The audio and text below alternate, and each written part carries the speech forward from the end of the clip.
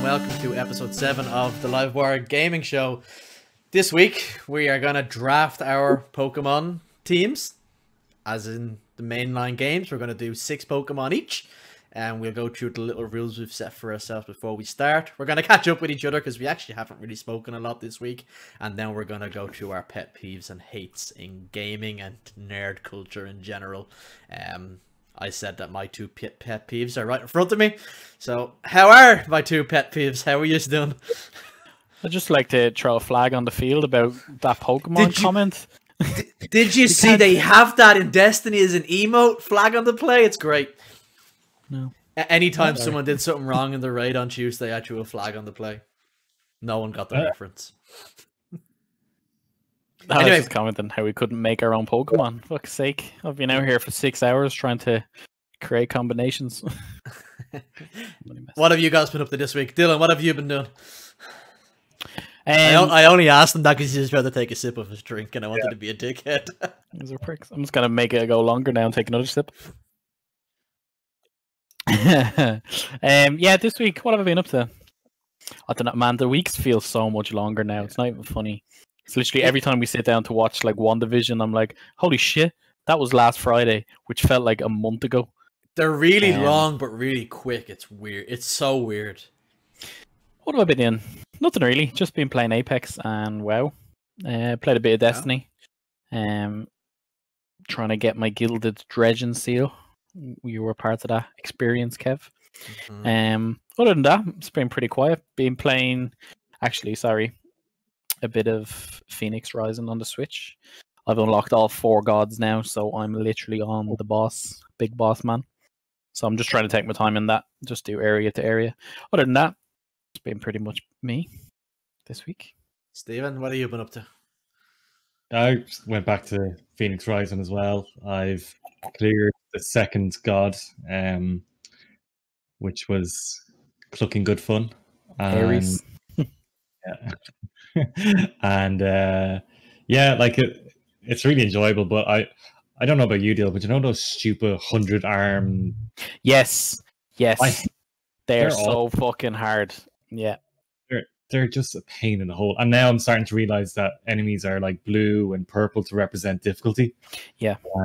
I'm like, I'm not comfortable fighting blue stuff yet. So But even with those guys, there's no reward for fighting them. Like you know, in the early game when you were fighting like the Cyclopses and stuff, you actually got a chest at the other side of it, which it could be like just a piece of armor, um, or even if it's like a thousand gems or something like that. But with those guys, it just feels like you're there for about ten to fifteen minutes, and you just like, right, what do I get?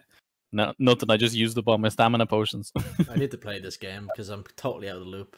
And also, so it, loo- it looked beautiful to be fair as well. Yeah, it's Actually, do you know what I discovered it has as well, Stephen, this week? Fucking transmog. Yeah. so when you go into the menu and you have your armors, and obviously each one will give you like the one that I wear is 275% extra health when your health bar is full.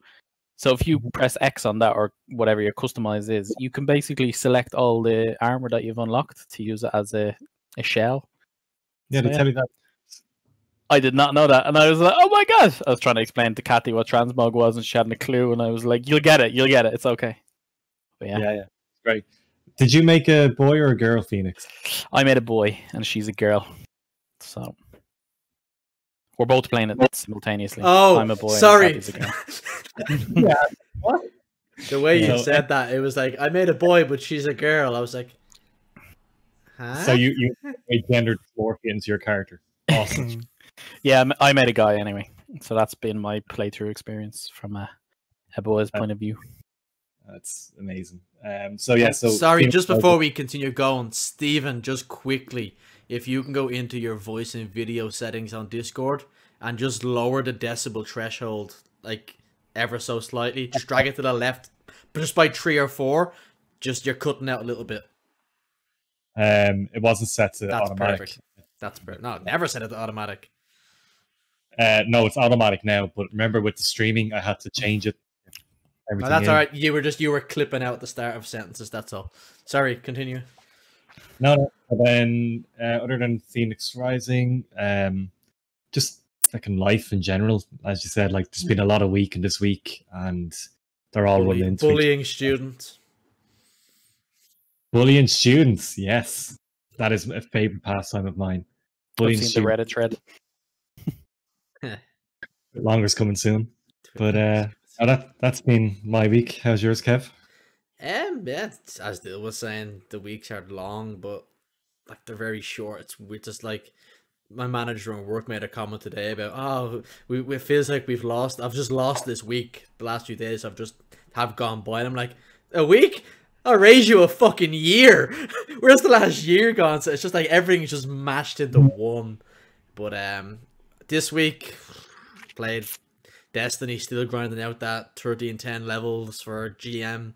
Grandmaster Nightfall's coming next Tuesday. Um, I'm leveled enough, so should be fine. I'm missing literally one. It's like Forever 29. I'm missing an arm. Everything else is 30 and 10. Other than that, I watch. Did I watch? Oh, I start watching Banshee again because I never finished it. Not watch it. It's on. It's a Cinemax thing, so it's very violent and very, yeah. It's alright. Basically, it's like guy gets out of jail and goes moves to this like ass end of nowhere town in the middle of America, and it's like an Amish town, and it's but basically he's going there because his girlfriend from before he went to jail lives there and has a family and it yeah he basically gets gets to the town this town called Banshee kills the the new sheriff arrives on the same day and he kills the sheriff. No that's not true. Actually i'm lying already. The sheriff gets killed and he takes up the position of sheriff instead because he wants to be near this woman that he loves and then it, it's good. I just i i start watching it years ago um but i never finished it. So I, i'm watching from the start to finish the to watch that third and a fourth season that i just never watched back in the day. But yeah it's fine. You know um the boys Yeah. Yeah. what do you know? What's the main villain? Homelander. Homelander. Homelander is the main is the lead actor in Banshee. So Oh, Antony okay. Antony Starr is Lucas Hood in Banshee. It's fun. It's good. It's enjoyable. But I'm just watching in the background while doing more Pokemon Go Battle League because I want to grind out to that level twenty, which I'm getting there. Lots of Stardust and lots of charge TMs later. I'm getting there. Apart from that, same as every week for the last 52 weeks. It's actually the oh. one year anniversary. I've worked from home for me tomorrow. Tomorrow Same. last year was my last day in work last year, so it's kind of wild. Right, so shall shall we move on? I don't think there's anything else. Yep, yeah. go. Go for it. Right, so as we said, we're gonna draft our Pokemon teams.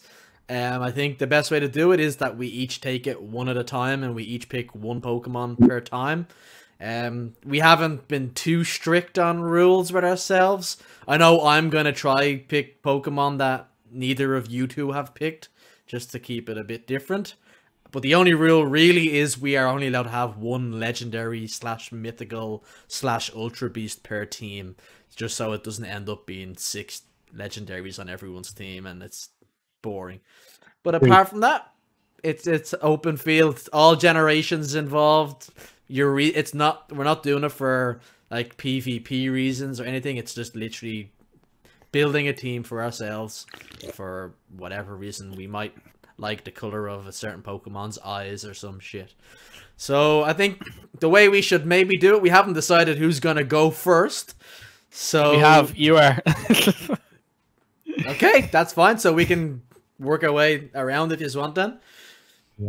All right then. So Uh, we're uh, all in a different composition. So like on my screen, you're on my top screen, right you're top Steven's left. bottom. Jill. Yeah. I was gonna say we could play Pokemon version of Rock Paper Scissors called Fire Water Grass, and whoever wins goes first. Or no, you just go first. But we could be there for two hours doing that. Right, I, I'll go first then, and I will Do you wanna come in with one of my favorites, seeing as I get to do it. Um, so my team, I'm gonna try build a very balanced team across the different types. So I'll have a fire, a water, steel, fight. So I'll have, I'll try and spread it out to have a well balanced and rounded team. So my first one is a fighting steel type, Lucario. Um, Nice. I love. I just don't know what. I just Lucario would be one of my favorite Pokemon. Um, just a badass, and he's got a cool He's- shiny. Go. He's Well, I actually, I actually haven't seen his shiny. It's yellow. Oh, nice. Yeah, it's cool. So Oh, it's in Pogo. Yeah, yeah, yeah. Yeah. yeah. yeah. The, it's one of the elusive shinies. yeah, very elusive shinies. So Yeah. yeah. So my first one on my list will be the because it's good, solid steel fighting type. Lots of um match, good matchups. You got given him in the X and Y campaign, didn't you? Yeah, I think so. Actually, Yeah, it, it, to- like that was to me. That was my first kind of ever look at him. It was kind of like on like the. Did you get given a Riolu or Lucario? I think it's a it's a Lucario because it's all about the megas, isn't it? Yes, because yeah, You're yeah. doing the going to the tower and the Lucario takes a shine to you and it's the prince or the princess or something and then she gives it to you as he likes you and wants to go traveling and stuff like that. Yes, yeah. and Then you get the Mega Lucario or the the stone as well. Then that's actually a fu- good point. I didn't even think of that. It's also got a badass Mega Evolution as well. Yeah. Mega Lucario is really cool. hmm That's a good one. I think he's Right. just like he's just like an all around fan favorite as well. Yeah, he. I think he is a fan favorite. So yeah, I, I thought I was being original, and really I wasn't. I was just being a basic bitch. basic bitch. Steven, do you want to try? Deal first? just wants to like get us two out of the way so he can start battling against us now. Like, haha, my team's gonna beat their team. Yeah, so I went with your approach, Kevin. I tried to um match the best, the, as many types as I could, um, Mm. but also put in Pokemon that I liked for that type. Mm -hmm. Yes, So- that- that's what I've tried to do as well. Yeah, exactly that. Same. So unfortunately, my I'm gonna go with your fighting type and show you my fighting type, uh, and it's not a dual type, but it's Machap or Mach- Machamp. Um, I thought you were going to say Machop. I was like, okay. no, Stephen uh, just Machamp- likes guys with four arms. yeah. Think of all the dicks he can handle. Four. Get a clip on that, please. You say that right? That's actually a joke I made the other day. Um, I can't remember. We were, it was me and Kelix were joking about something, and Machamp came up, and I was like, "Ah, everything's doubled: two arms, four arms, one dick, two dicks." Jesus. So Well, yeah, I I'm think not you were. eav- commented on this at all. I think you might have been eavesdropping on us, Stephen. Might have been, yeah. No, but the reason I just think he's, he's really cool. It, it's just that kind of concept of you've a bodybuilder fighting type who has four Yeah. arms. Yep, awesome. Cool. Next time, you, if you when you play um, the game comes out later this year, you're gonna have to call it Jules, and you'll get that reference, Stephen. Dylan hasn't got it for another three chapters in Final Oh, he's Fantasy. got Ah, okay. Yeah. Go on, Dale. What's yours? My first one is gonna be no surprise to you, Stephen. Jolteon. Tony, I have it. I have a thing for the evolutions.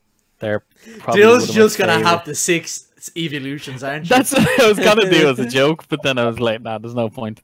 No, I love I love the evolutions. Um, they're they're always consistently good, like for the type that they are, because like they're all out and out that specific type, like water, dark, psychic, fire, what etc. Um, and yeah, I just I love Jolteon. Jolteon's class. He's great in like a when Pokemon Go. He's just such a fast attacker, and in the main series games as well. I'll always try to grab a Thunderstone. Do you know what it is? Is Yeah. that they, they're solid. Like they're not best. Yeah. They're not best of class in in their They're types, so in their good. types, but they Yeah. are. They're solid. Yeah, Yeah, I think Okay. that's yeah. So I tried to pick one from each generation. So that was my Gen One for my first pick. One from each evolution. I think for fuck's sake. One of each evolution. It'd be a surprise though, because there'd be still two or three left out. we're due a new. We're due a new one, but obviously yeah, we- it's we skipped a won't. couple We won't of get it. Yeah, we won't get a new one in the remakes, obviously, but I imagine we will get a new evolution or two in the next generation. I'd like a fighting type. That'd be cool. Fighting type. Mm. Mm, Four that'd be arms. It'll just be something with a big forehead for headbutting things. But yeah, right. Take us to your number two, Kev. Okay, so my number two is a fire flying type. It's again one of my favorite Pokemon. It's got a fantastic shiny. Um, we actually had a Pokemon Go community day quite recently for its basic evolution. So my second choice is Talonflame. That's gonna be my fire Really? choice. I don't know what it Oh. is. I love Talonflame. Like I normally love the th- the third evolution of birds. Mm, Like the, you know that the, the first kind of first bird you meet in the main series games. yes. I I don't know. it- It's yeah. It's it's just not one of the ones that kind of shines for me. But obviously it's personal. I believe it's personal, bitch. No, I'm Just a- just I'm a fan of Talon. I don't know. It's it's the fire flying type. It's Yeah. yeah, it's a fire Pidgey up basically. Yeah. Um, so it's it. I have it. I've, I had it in my team in Sword Shield most of the way through. Still there now because I got a shiny one from a totally legitimate Max Raid. Den. Max Raid. Um, yeah, it's, that's it's nice. I guess shiny, nice shiny. Nice. So that that obviously means that I'm not going with no Gen One fire type, flying type, fire flying. Leaving Yeah, it open for some, leaving it open Shock for someone else, leaving it open for someone else to take it. Steven. So my um, fire type is actually a fire dragon type, not from Okay. Gem. And it's going to be using my legendary slot, Oh, and it's Resh- Ah. because of all the legendaries, I think Reshiram just has Re- Reshiram and um, Zekrom. Zekrom just have the coolest dragon legendary looks. They just look so. Yeah. They just look like what you think an OP Pokemon would be, and um, yeah, it's fair. between the two, I the, the white of uh, Reshiram just kind of does it for me. So um, that would be my fire type. So the fire dragon is Reshiram for me. Yeah, they do actually look like your generic stereotypical dragon, actually, don't they? The way that, like, you know, when you see some dragon types and it's a fucking apple, and you're kind of like, okay, doesn't look like a dragon. And then you have something that looks like a dragon in the Generation One that isn't a dragon. yeah, it's not a dragon. Yeah. Anyway, I've, that's a good um, one. And you I- used I've your left- legendary card so soon. Yeah, I, I'm leaving my legendary to the last. Same. because then I I can see what well I'll see what Steven's taking. I don't know what Dale's gonna take, but I also in case one of my Pokemon got taken, I don't want to have the type matchups off. Okay, so Reshiram's in there. Steven getting in early with his legendary. Right, Yeah, Dale. he's like, fuck you guys. Right, so my next one is from Gen 2. It is a steel a bug type, and I it know what is it is. Scizor. oh, I didn't Yeah. know it. Did it? Oh, okay. No, I, I Yeah. had it wrong.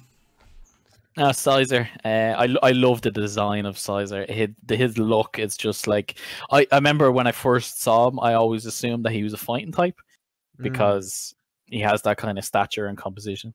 But um, he's no, I love his humanoid design. form. Yeah. Um, his mega design is so good as well, or mega evolution, And it's a cool Um, shiny.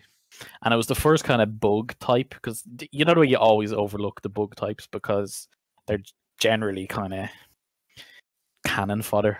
Um, apart from Heracross, but um, That's who I thought you were. I thought you were gonna say Heracross, but that's it was a toss up. That's a but I fighting do, bug type, not fighting steel. fight- So yeah. yeah, bug steel. Sorry, and its shiny is really cool as well. It's like a Heracross is shiny, bright class, green. yeah. Oh, scissor, or yeah. Sizer, yeah, Yeah, or scissor. I can now. I never actually knew its name, but I always call it Sizer. So someone on YouTube will tell us we're wrong, so it's fine. yeah, well, no, that's my boy. It's a nice one. That was like one of my backups in case uh, Lucario got taken. It was Lucario, then Heracross, then Scizor. It was. It was. Uh, it was. It was one of my fighting type backups. All right. I'll I'll keep moving down my list. Um, the dark. Dark type that I wanted, I, I, it was a Mm. toss up between three. One of them being an evolution, just because it's such it's just a tank and it's got a really nice shiny. It's not a mega change shiny, but it's subtle and it's, it Sim- makes it really nice. yeah.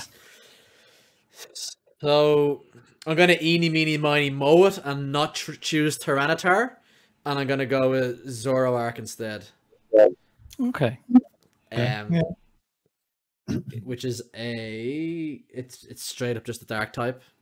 It's just a really cool looking Pokemon, I think, and it's also got a really really nice shiny And a really nice mullet. and a really nice mullet. but the shiny version has a really cool mullet. Yeah. I think of one or Um, two of them on my Switch. Yeah, totally legitimate from a totally legitimate Yeah. raid den. Yeah, from me some too. Zoruas. Yeah, me too. Uh, Zoroark's really cool. I think that just it was the generation that I skip. You know, it was one of those that kind of fell by. Yeah, it- that came along in Gen five, I think. Yeah. Yeah, which would have been black and white, right? Yeah. Yeah. That's when I would have started. That's when I, so I kind of skipped. Funnily enough, the one the so when I was doing it, I was saying it before that we started that the generation I had the most Pokemon in was Gen Four, which is the remakes Hmm. from this that are coming out the end of the year. But that would have been where I fell off playing the games when I was a kid. Yeah. So it's kind of funny that the one that I have the most favorite Pokemon from is the generation that I skipped. But Black and White was where I started to get back into it Picked again up, as a yeah. teenager. That was kind of like, oh, I have a bit of money and I can afford to get more than one games console. Yay. And Nintendo DSs were dirt cheap when you got them pre-owned. Yeah. So cheap. Um so then to try and match up with your dark type, so my it's not a primary dark Stop type. copying but me, Stephen. I'm I'm trying to just keep in with teams here, that's all. Still doing one thing, and that's okay. yeah. Fucking you guys over picking wrong types. So my one is a water dark type. Um Okay. trying to think what gen it's from again. Um don't remember. Jesus. Water dark is it? Mm, I can't guess that actually. Oh, it's generation six. That's the one it's from. It's What uh, Greninja. Ah, okay. Another Uh, fan favorite. Another fan he- favorite, yeah. He's so cool looking. Like He is. I haven't watched the Pokemon anime in a long, long time. I remember seeing it recently enough, and they just had Greninja, and it's just his animations, and he just he just looks so cool. Like he's an agile ninja frog. Like, Yeah. Do from Pokemon? Just mad, like ninja frog. So that that's mine. Water dark type. I love that he has like the. I could never actually realize if it was ever like his tongue or just like a scarf or like a kind of mouth guard that was going around his neck. Self appreciation by his tongue. You know. Yeah, or like a flotation device. But yeah, no, he's really cool. I think he was the he was like the first episode of that series, wasn't he? It was like He was. if I Yeah. remember correctly. I only started watching that like- like last year or something as well. But yeah, in the, It's- even in the main series TV shows, he was like the kind of center focus of a lot of it, Mm-hmm. which is pretty cool. Right, um, my next one is a psychic type. Just to fucking go completely separate to what you guys are doing. I just don't want to fuck up my order. I, I, do you know what? I fucked up my order from my first pick. So my one is another. I just purely like the design, and I always call it a her because it's Gardevoir. Guard of War. Well, there goes one of my picks. Sorry. Um. Yeah, it was Gardevoir Gallade, but I went to a Gardevoir. Um. Yeah, it's just it's another kind of popular main series. Um. it's very strong Pick. as well. Psychic, But fairy, it's so psychic fairy strong. type. Yeah. And especially having that fairy type as well, um, kind of amplifies it that much more. Yeah. Yeah, 'cause it's like I know for me, they've never been a strong contender to be in my my group, but um, having that dual typing kind of really helps. it bumps it up massively, especially in fights as well. Um, The Gardevoir I- reminds me of Dado when he's in his 2B um, Ah. cosplay. I don't know what it is. He just reminds me of Dado in 2B. And by the way, She's a yeah, cool shorty. Gardevoir, Gardevoir is a she anyway. It's canon is it's a female, isn't it? Yeah, because I can't remember who it is, but someone in the main anime has one as their partner, and you you're questing with them for a bit of it. And yeah, it's I think that's where I was just associated with being a, a female. Fair enough. Yeah, Yeah, I had Gardevoir in as my uh, as one of my as my first choice for a fairy psychic slot, so I'm gonna change that one up. Um, my second choice in the f- psych in the fairy slot was Sylveon, but I've just realized I don't want to do that, and I'm gonna go with Eons. a Alolan Ninetales instead, because it flips up that fire type and changes to a ice fairy type, and yeah. it's a beast and it's a beautiful looking Pokemon. Changing that It is. cream of the Gen One or of the Kanto version to the the white, yeah, it's it's a nice Pokemon. I think it is one of the nicest changes in the Alolan forms. Yeah, I had both Rapidash, Galar- Galarian Rapidash, and um Alolan Ninetales there uh, to be picked, but I think I'll go with the Alolan Ninetales because it's it's I still get confused on their new types with the Galarian forms and the mm, Alolan forms, especially with uh, Stunfisk. Stunfisk. he was he was big in GBL for a while. Mhm. He still is. He's still a beast in Is he? Go Battle League, yeah. Also, the the shiny for the Alolan Ninetales is also quite nice. I haven't seen it actually. It doesn't Isn't change it a whole lot, but it, it it's a subtle change. It's nice. Okay. Yeah. Pity they didn't go hard on it and just change It's like black and with the light blue going through it would have been really would have made it really cool looking. But, yeah. Stephen, take us away. You obviously have to stick with an ice or a fairy type now. In my uh, fairy type slot, and I, I think you can correct me. I think this is just pure fairy, um, and it's just purely because of just how mental it looks. Is uh, Togekiss. Togekiss And- Mm. strong. the idea from tiny little Togepi to this mm-hmm. weird mm-hmm.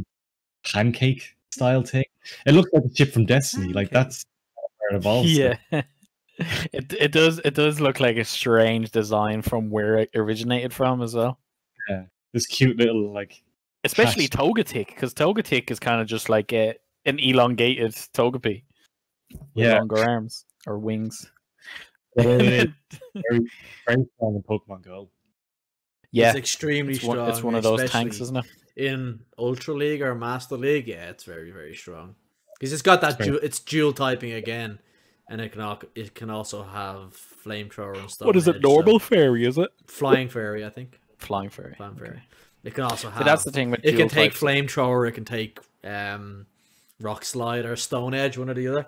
So it, it gives it that good class matchup Dynamic. or type matchup. To be That's good. my I, li- I as much as like we just shout on its design, I actually do like the way it looks. Mm. It is really cool. I just think And then the shiny just looks off color. Yeah. It's like it's been washed one too many times and you didn't put a color catcher in with it. Okay, my next one is I remember I first picked it, picked one up in Sun and Moon, that generation's playthrough, and I was like, that did- see, that that was kind of like my reignition into the franchise again. Yeah. Um, so How just annoyed the hell out of me. Your ha- rival buddy. fucking so Ah, s- like that's going into the pet peeves category.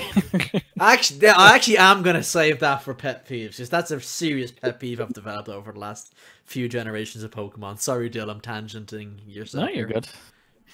Um, yeah. So this guy, I picked him up very early on in my Sun playthrough, and because I missed on so many generations previous, I just assumed that he was a New Gen Seven, Mhm. but he wasn't. He is Hawlucha, and he is my flying fighting type, and I loved every boss or every gym I came to. He just decimated fucking everybody. He'd also decimate the Miltank from Gen 2. So yeah, I loved Hawlucha and uh, he, he- his design is so nice. It's like a the kind of Mexican wrestler look. Yeah. Uh, it's it's really Oh. cool. Uh, yeah. And in the anime as well, he has a really good story. He's like the kind of protector Oh, of yeah. the Ash has one, hasn't he? Yeah, Mm. he comes on his journey. Um, yeah, he's like a protector against the fucking the bully Machamp and fucking Conkeldurr. They're yeah. No, I really really like Hawlucha. So he fit into my uh my fighting flying slot. Nice.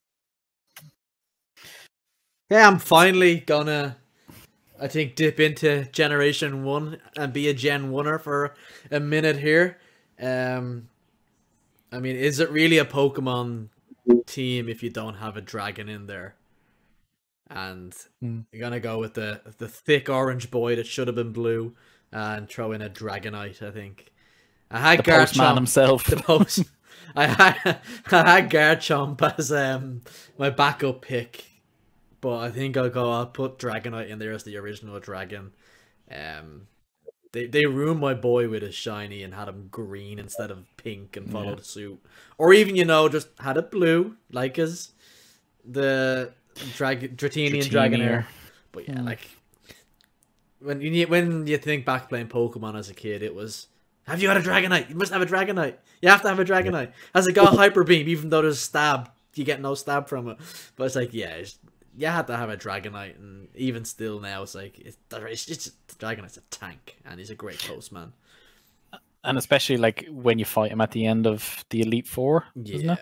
yeah. When Blaine it- has one. it just kind of hypes up that whole like this is the end game mm-hmm. Pokemon. Like this is not a legendary, but like on that kind of level of class. Yeah, Yeah. It's because And then- like back in the day, it was the first dragon. Like it was the Yeah. first. Well, the only dragon in Gen One, really. Then they turned him into a postman. They turned him into a postman.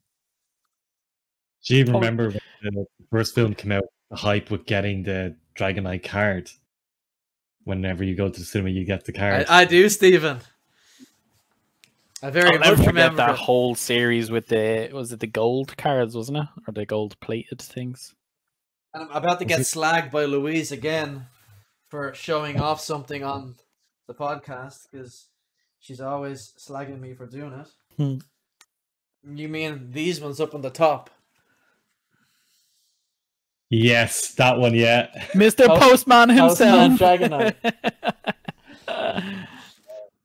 but there was another one as well that came out afterwards, wasn't there? Um, I think it was like a close-up picture of Dragonite or something, or I can't remember. I can't it remember wasn't. now. It wasn't the original one, but that's. I remember getting that one anyway.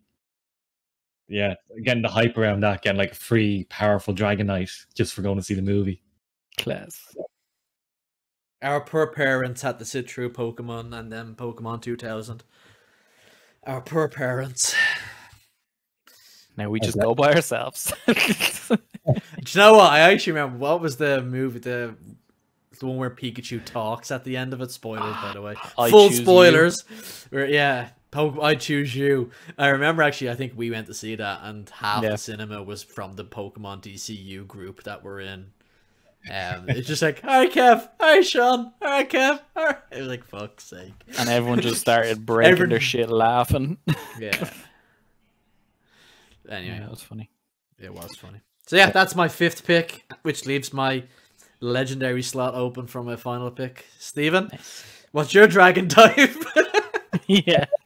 I already gave my Dragon you type. did. You did. So I will stick with Gen 1.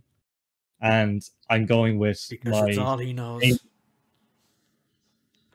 my favorite um ghost type, Uh, Gengar. The big boy. big boy himself.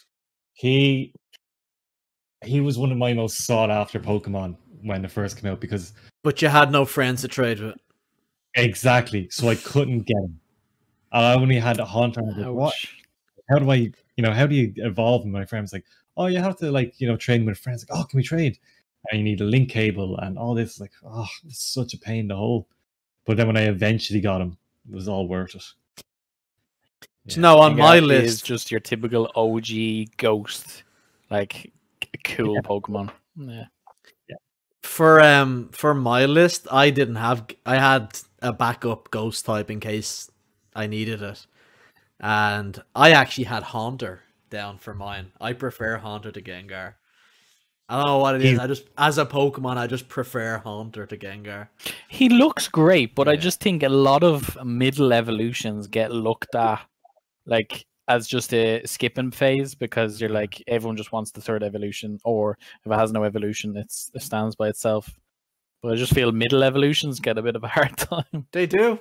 It's like any Pokemon. If you if you train a Pokemon right, like anything can be used at any level. You just gotta power it up and improve its EVs. Mm. But anything can be used competitively. Really, at the end of the day, I just prefer Yeah. Hon- Haunter's like a I don't know, just a cheeky fucker, isn't he? Yeah, he is. Yeah. But I'll never forget that episode where they go into that haunted house in, In the first. Town. Yeah. Yeah. Yeah. They're all little pricks. they did they did him something bad with his shiny form. Jesus. Yo, but Haunter or his mega Gengar? shiny Gengar. Oh, I don't think I've seen that. The Mega Shiny should have been the actual The shiny. normal. Yeah. I don't It's don't, white. don't say it's anything. white. Don't, ah, I was Oh, gonna say sorry, let him let him Google it Yeah. and see how Yeah, fucking amazing. cool it is. Oh my god. Yeah. That- pretty cool. That is what- Completely changes it. And then you have the mega, uh, the shiny Max Raid, then Max Raid version of Gengar when it turns. I didn't see that one. It, it's white again, but it, it makes Oh, it nice. really cool. And it's got that. It's like Oh, the big haunted house kind of thing with the big long tongue, but white. Oh Yeah, yes, class, yes, yes, class. yes, yes. That's that's cool. Yeah. Steven's got a new wallpaper. I mean, it wouldn't be a thing if if Gengar wasn't included really somewhere, would it? No. yeah, he's just one of those original kind of He's, favorites. I feel. Yeah, he's a Yeah. always in there. Right, Dylan, number five. My numero five is another one from my Sun and Moon playthrough.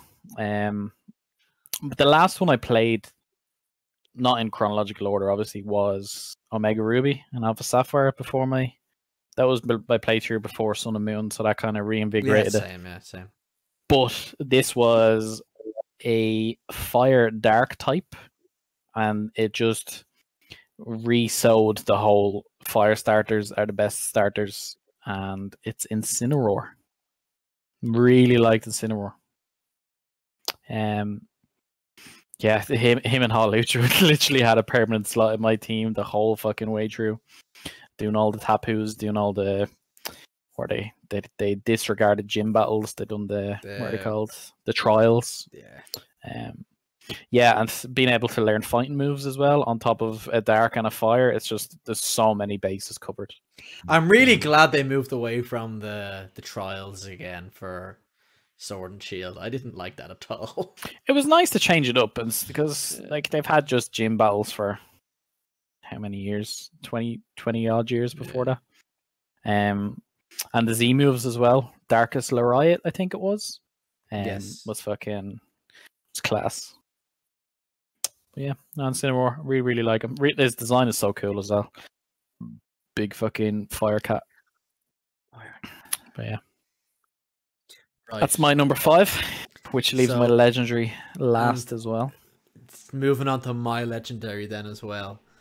So I was kind of leaving my legendary up for choice depending on what I picked elsewhere. But I'm gonna just disregard that and go with the one that I wanted to go with because I just love how it looks. It's not really anything about it being strong or anything, but it's the Galarian Articuno. It's just, Yes, it's so majestic looking. It's yeah, it's he looks so sleek, doesn't it? yeah, it's sleek. It's, it looks really sleek. Really, yeah, sleek is the right word. 'Cause it's like it's wearing like a mask as well, isn't it? Yeah, just a pity it's a psychic flying. Had it been, it- they should have left it with the ice. Had it with a psychic ice type, but yeah, it's. I just love how it looks. That's literally my only reason picking it is I love how it looks. Yeah. I think they've nailed that with the redesigns whenever they Yeah. bring out a new Yeah, kind of can- iteration. In- In fairness to the three um, legendary birds that they did in the Galarian form, they all look great. Three of them are Yeah. fantastic designs. But I just love Galar- the Articuno, the purple. Yeah, it's, it's really nice. And he was a bollocks to catch. So Pollux to figure out which one was. Yeah. I think I looked out and got it on my first try. To be fair, I did actually think I looked out and got it first try. Nice. But one of the other ones, I think one of the other ones was a bit annoying, but I got Articuno fine. Um, I had a few backup choices there, but I won't go through them. Like I, I love the design of other ones. Some of them are strong. You've got your fan favorites, but that's what I'm gonna go with. And I also won't name any more in case Dill wants to take one, and I'm ruining his fun. Well, Thank you. no for me giving it up because my last one is not legendary. Because you um, too early. Yeah, Stephen. Blew my load too soon. Um, the this, this move is my my grass type, and um, it's my it's not my favorite evolution, but it would have been the strongest grass type that I wanted to put in, which would be Leafeon. Um, definitely up there with one of my favorite evolutions. I think my favorite would be Flareon. Um, Hmm. but it's yeah, it was just when I was looking through the list of grass types that I liked, it was probably the strongest contender. Um, so yeah, so Yeah, Leafeon's really cool. Think- That was like what that was with Glaceon, wasn't it? That yeah, got released. so you had to So they- evolve they them were in the a two certain that- environment. Yeah. Yep. And they're really cool. So grass types would probably be my least favorite type of Pokemon. They All just the- feel all- weak up to a lot. Yeah, all the Bulbasaur stands would be given out to me, but I just don't like grass type Pokemon. They're boring. No. they need a dual typing to even Yeah. any good at all. But yeah, Yeah. Like I actually looked through my list of my favorite ones, like my big preparation list that I did up. This here, like, there's not a single grass type on that. not a single like- one is grass type. That's another thing. Like where Mm. when it goes down to like personal preference, I always find like when you look on like forums and stuff and you see like someone's favorite Pokemon is like a fucking something so strange like a Dewgong or something like that. Dewgong. And you're kind of like Dewgong alone. no, but that but you would you'd never classify it as one of your top ten fucking Pokemon. But I think it's just everyone's kind of personal experiences with the franchise at one point or another just kind of shines the the stra- the the strange preferences. I do actually like Dewgong from Gen One though, because it was sort of water ice. But no, like like like like Stephen said, like it's not necessarily the most powerful, but you just you, you just take a shine to it. yeah. yeah, That's the So same what we're what we're saying is none of us are grass starter f- types in Gen One, apart from no, it's even Steven. Bulba's class. Yeah, no, I liked I liked Bulba. Bulba, Ivysaur is Bulba was easy favorite. mode though. yeah. Because if, if you if like if you think about it, logic again, I'm gonna get fucking absolutely hate for hate for this. But Bulbasaur, like if you chose Bulbasaur in red, blue, yellow, well, red, blue because Pikachu is yellow, obviously. But if you chose Bulbasaur in red, blue, you were set up for the first two gyms already. Whereas Yeah. if you chose Charmander or, or well Squirtle, you were set for Brock. But Charmander was hard mode. It meant you ha- it meant you had to go f- catch something in Viridian Forest on the way, whereas like with by the time you got to Surge, you'd already been through Diglett's not Diglett's cave, um, Mount Moon, so you could catch a rock type in there to deal with Surge's shit. Anyway, Mm. I'm going off on a tangent again. Uh, Charmander for life. Fuck you all, bitches. Um, Dylan, what's your legendary? My legendary. Uh, it was hard to pick because There's so like, many. there's so many, and like I only watched all the movies during the summer, um, in a row. So it's kind of like I was I was really into one at a specific time. Then I watched the next one. I'm like, oh yeah, this one's really cool. And it's one of my favorites. And then you watch another one. But I settled on just mainly because he looks class, and he's evil, and it's Darkrai. Mm-hmm. Very cool. Yeah. Yeah. And I know I already So- picked a dark with Incineroar, but he's he's fire as well. But yeah, Darkrai is really cool. Um, yeah, got fucked over with shiny as well. He did. Just Yeah. a little tint. Just a tint. But like that, I wanted to pick like the likes of Groudon and Kyogre and stuff like that. Just I feel like I was more into that kind of story arc in the games as well because I never Mhm. played a game with Darkrai as the main kind of Mm. ending, and especially being a mythical as well, he wouldn't really be involved in the the main arcs. But now Darkrai, I think it's just one of those.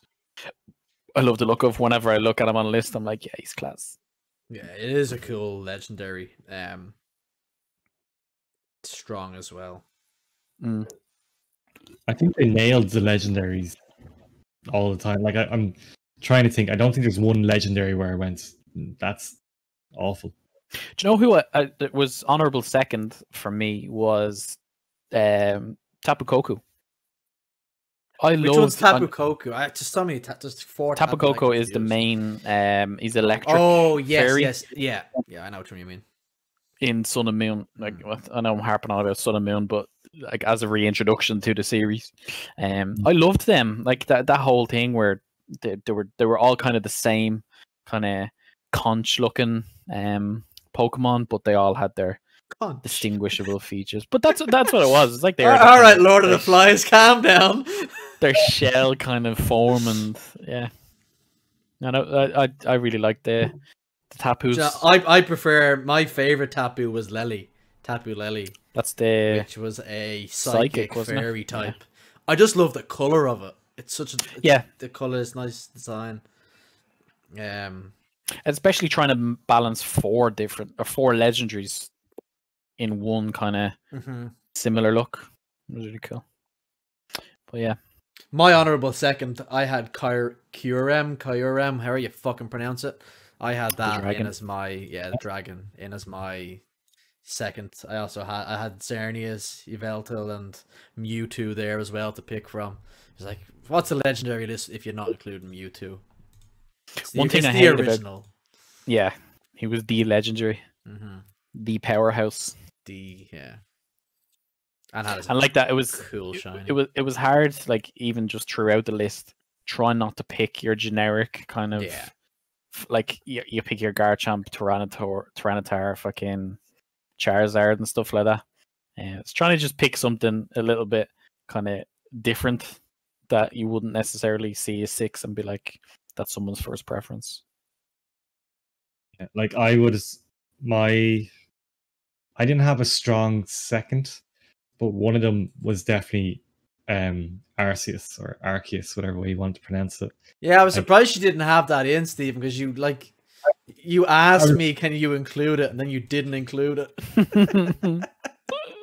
I Flag wanted on the field. No, I, I take it back. but like it's the ult, you know, it's essentially the ultimate Pokemon. It's the god Pokemon. Mm. Why would you not Mhm. want it in your team? But yeah, and, and in the movie, what's the movie that he's in? Um, what's the name of it now? God, Something to do with time. Yeah. But that's like that's a great movie, and to have him fight Dialga, Palkia, and yeah, lap them all, like nah, get. You're And, back in your own zones. and you're just like, yeah, man, that's why would you not? I I was just waiting for Ash to just tr- chuck a Pokeball and just be like, Turn his hat backwards. A miss. no, no, that's only in the uh, Legends of Arceus that happens. yeah, that was definitely overthrown. So overthrown. But you know what one I really like, and I'll get hate for this one, but I really like the design of um Eternus. Eternatus Eternatus, was really yes. cool, yeah. And I like how they kept that so quiet in like promos and stuff like that. There was no hint at it at all. And it doesn't fit into the design of that kind of old English that they were going with, with the Zacian and Zamazenta, or just that whole generation itself. And then Yeah, just the, the big fucking space alien thing comes down, like Deoxys. Yeah. That was actually a really Yeah. cool cutscene in the game. Yeah, that was a really Yeah, cool the turn as well game. was really cool. Mm. Another one for me, I used to never think it was a legendary uh, with a mythical Keldeo. Yeah, I, I like. I I actually had that as one of my possibles as well. It's a Yeah. really just a cool Like- fucking Pokemon. His whole story of trying to get into the Swords of Justice or whatever, and then having to fight um Kyurem to earn a spot, and then being a little, I'm ready, I'm but you're not really ready, and then getting shat on. It was a cool story.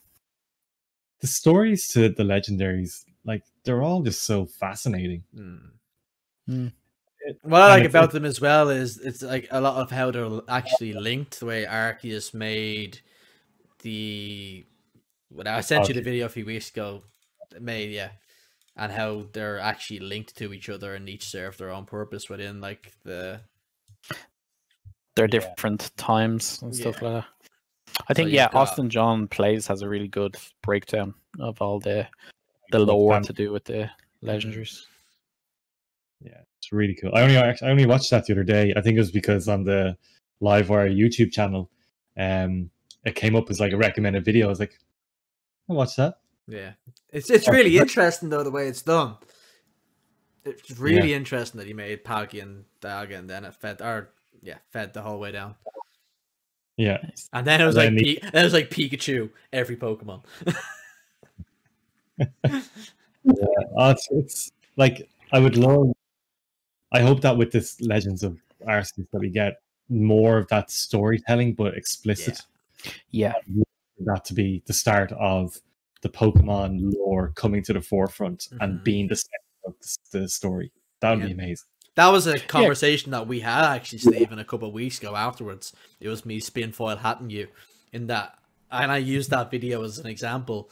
In that, you, like they're introducing us to Arceus, and they actually could they could actually do it in chronological order. In that Arceus created whatever they create, and then create this and create that, and actually tell the story of the legendary Pokemon Hmm. and work their way through it. it it's a it could be a very interesting way of doing it. because like the majority of the the main series games, it's always like the bad guys at the time are trying to bring this Pokemon or this legendary back to life and can't let it happen, and you get there just Still, we're saving that for pet peeves and hates. But no, like uh, that would be great to just kind of flesh out the story a bit more and kind of, like you said, focus on one for that whole game. Yeah, that's what I said. I was Yeah. like, so tinfoil hat theory about Pokemon Legends. If Arceus created everything, we could see either sequels or DLC in the same style as this formula going forward. And they could actually tell the story of each of the legends as we go through it all. I think it'd be an amazing way to do it. I really do. Absolutely. I think you're. Yeah, he know if you hit- created.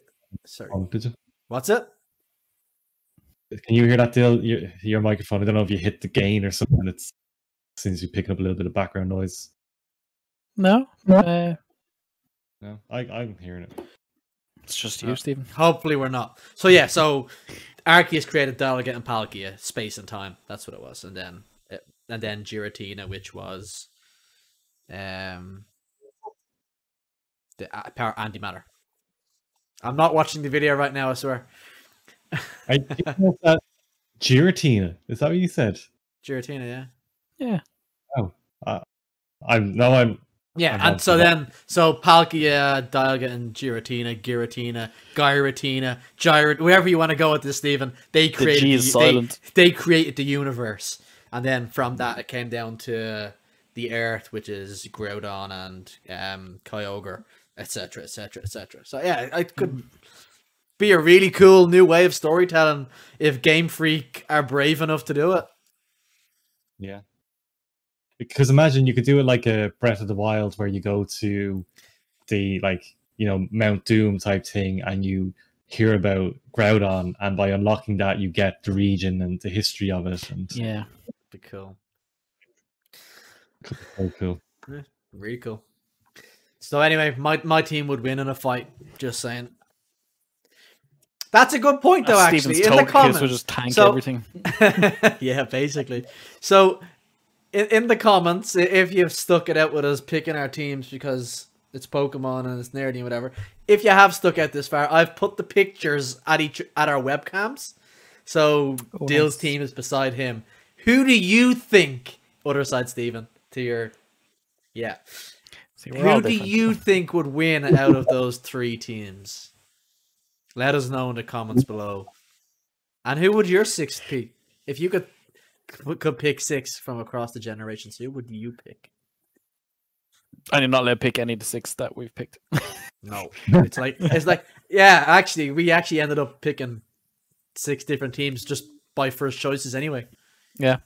So, I was worried you were gonna say Darkrai. That's why I was like, oh shit. No, I didn't even. I didn't have it there to choose. I was gonna go with um Articuno or Kyurem or Xerneas, but um, because Xerneas is a beautiful Pokemon as well.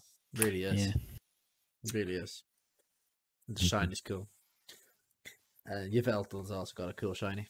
Anyway, it's a couple of with no Tyranitar there. We've no Garchomps No Charizards. story. I, I name anytime I get a well, Garchomp, which is a Gible. No Charizard, yeah, we're cool people. Um, we're Pokemon hipsters. All my Garchomps are named Mister Tibbles because because I bought a Pokemon Y. I'm gonna say pre-owned, and it came with a Gible with the nickname all caps Mr. Tibbles exclamation mark exclamation mark exclamation mark and it's one of those things you buy a pre-owned Pokemon game you have to see what the, pre- the previous owner has left you as a little present usually they leave you absolutely nothing but I got Mr. Tibbles and it just I saw the name Mr. Tibbles and it just made me wet myself laughing so every Garchomp now is Mr. Tibbles I'd love to know who did it because they they created a meme for me and I love them for doing so Put it on Twitter, see what we can get. Found owner of Gible named Mr. Tibbles. Put posters up all over on lamppost. Send out the milk cartons. We might find the owner of that game. Do you know what? Saying that, I've been trying to buy a couple of the old um, GBA games or a copy of Diamond Pearl Platinum. Uh, They're impossible to get in Ireland at the moment. You can get them through um, CEX in the UK, but good luck getting that shipped here at the moment. I don't think a lot of businesses still haven't fixed their shit. But yeah, like there's you cannot get them in Ireland at the moment. I've tried. I'm really that I'll save that pet hate and pet peeve from when we're talking about them because I've got one that's making me quite angry right now. Which is Sorry, a segue. So yeah, that there's our segue into our pet peeves. I'm going. Ah, leave the Pokemon pictures up for a few more minutes. It's not doing any harm. Um. So things that make you go grrr. Um. So we've all got them. We're trying to keep these specific to gaming. I went first on the Pokemon picking, so it's between you guys. I don't know. Do not care how you just want to decide. We'll do it in snake order. Deal. You get to go first. Cool. Um, one of my biggest, and it just just for PvP, like P- PVE, it's fine because you have your music on, you're jamming, or you're just doing your own thing and taking it easy. You're doing your job, blah blah blah. But silence. when you're playing a PvP game and you're talking to somebody or someone's talking, and then all you're getting back is static. especially when something goes wrong and then it just creates a bad atmosphere. Yeah. That's one of my things that I'm kind of like you start trying to fill the void then and then kind of it just it yeah. Just I find that hate if when- one person is doing that, then it can kind of it's like poison. It spreads to the rest of the group. Yeah, and like it, it necessarily nothing bad would have happened. It just like obviously it's it's when after someone makes mistake or whatever, but it's just it spreads and it's kind of like everyone's like on eggshells then for the next thing to be said. Um, when it's just making something out of nothing really. Instead Now there's a there's a difference between going making a joke about something and getting salty about something. And it's been able to know when you are crossing that line from "Oh my god, this is dumb" to "Oh my god, this is dumb." It's it's knowing when you're you've crossed that threshold and pulling back in the rage. Nobody wants to listen to your rage. I'm talking to myself. which is the listen opposite of silence. like I'd rather listen to that. So, well, some to a certain extent, but yeah, it's just. oh, if- sorry, sorry. I completely misunderstood what you were saying, Dill. Sorry. I thought you were saying people getting salty and ragey. You're saying when you're trying to have a conversation and you're just not getting anything back. Is that right? So yeah, when you when, silence, Sorry. like Yeah, when- sorry, when, you're sorry, playing a. PvP game, someone dies or goes blah blah blah, and it's like just silence. And it's kind of like it Yeah. just creates a bad atmosphere. No, I, I sorry, I completely misunderstood what you were saying. Um, yeah, I get, I get what you're saying.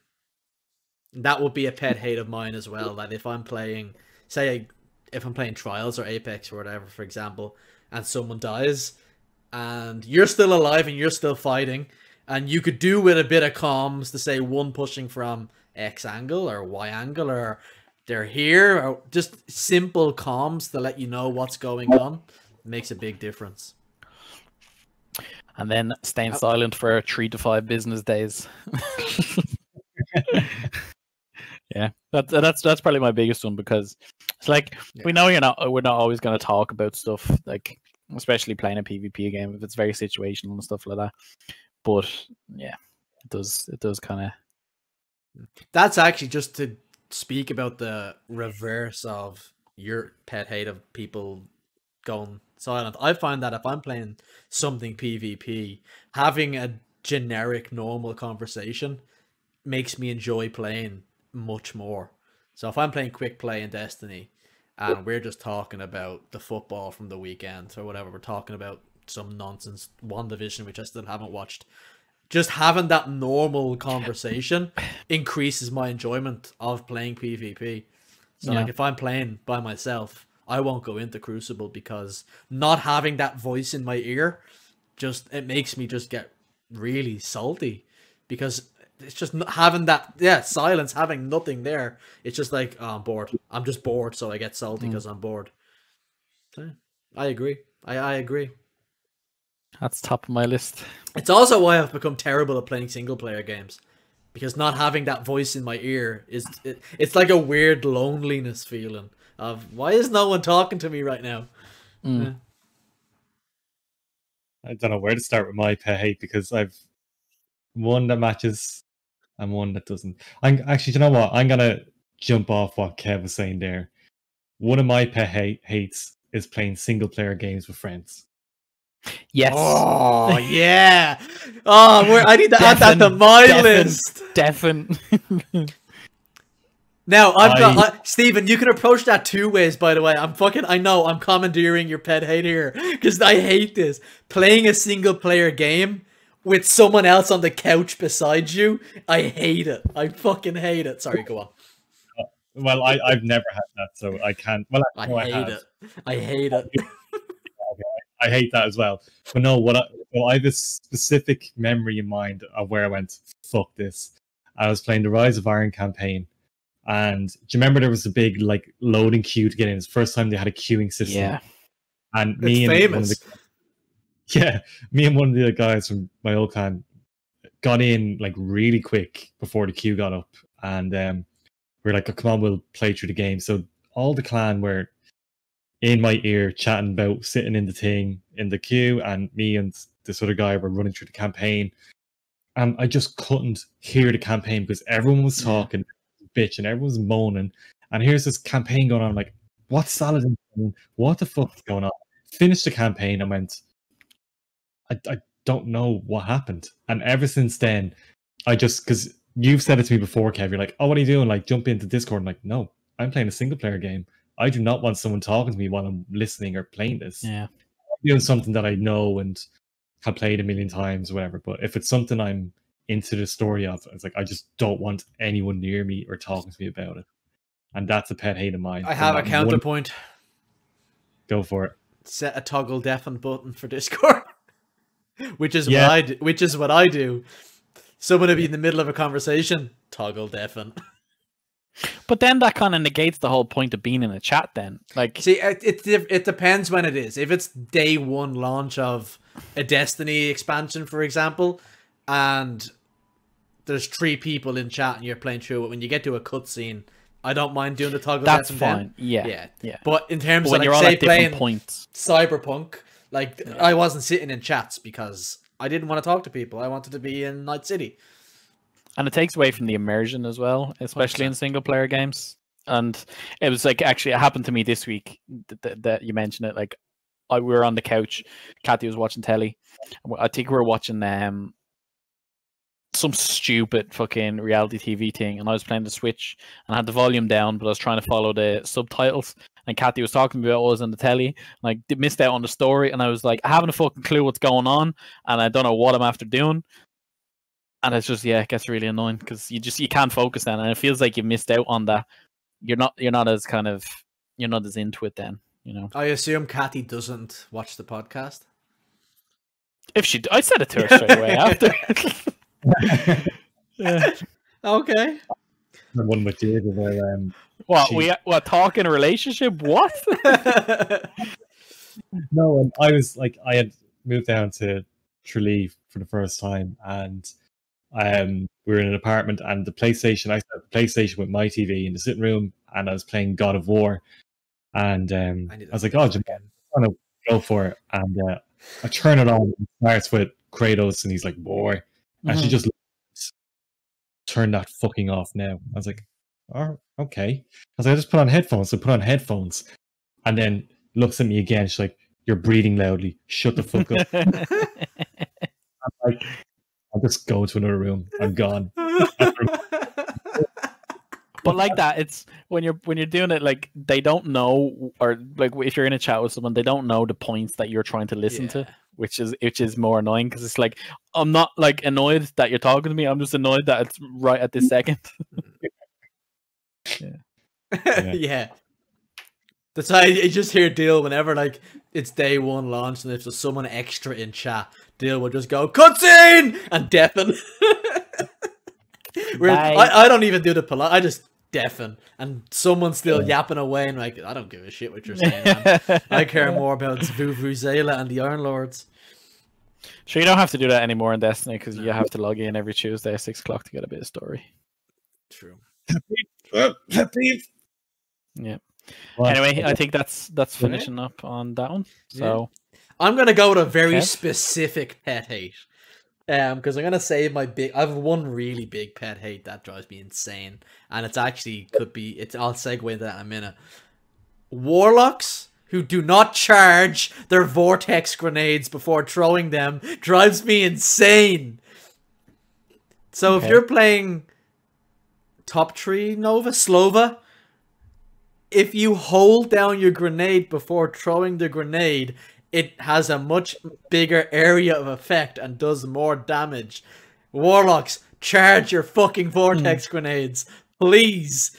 Um, I was watching a video on Twitter the other day, and it was a very good video. I won't say whose it was, but they were playing Warlock and Slova, and the gameplay wasn't the important part. But when they were in charge of their vortex grenades, it was driving me insane. It really was annoying me so much. So please charge your vortex grenades. That is the end of my TED talk. is that only specific to Slova? Yeah. Okay. Well, on the other ones, um, on each your grenade. So, in general, warlocks can charge their grenades anyway. So you've got the Sunsinger. What's it called? You're right there, Dill. Yeah, it swallowed it. the wrong way.